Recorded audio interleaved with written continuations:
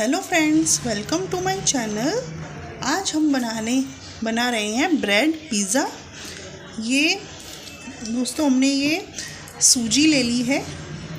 इसमें हम हम मलाई ऐड करेंगे, जो दूध के ऊपर मलाई पड़ती है वो। उससे इसका थिक बैटर तैयार करेंगे। ये, दोस्तों, हमारा थिक इस तरह से बैटर तैयार हो गया है। अब हम कुछ वेजिटेबल लेंगे और उन्हें कट करेंगे। ये हमने एक शिमला मिर्च ले ली है, एक प्याज और एक टमाटर लिया है। इनको हम बारीक चॉप कर लेंगे।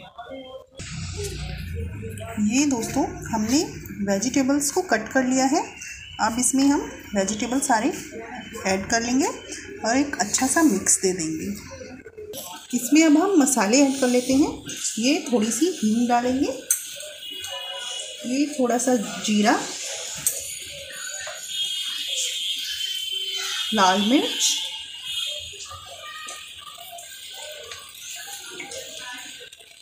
और स्वाद अनुसार नमक ऐड करेंगे और इसको मिक्स दे देंगे। अब हम इसे टेन मिनट्स के लिए रेस्ट देंगे। ये देखिए दोस्तों, हमारा बैटर दस मिनट हो चुका है। अब इसको ब्रेड पे अच्छे से स्प्रेड कर देंगे। इस तरह से। बहुत अच्छे से लगाएँगे इसे। सभी तरफ़ से। अब इसे इस साइड से तवे पे डाल देंगे। इसे घी लगाते हुए अच्छे से हम सेकेंगे।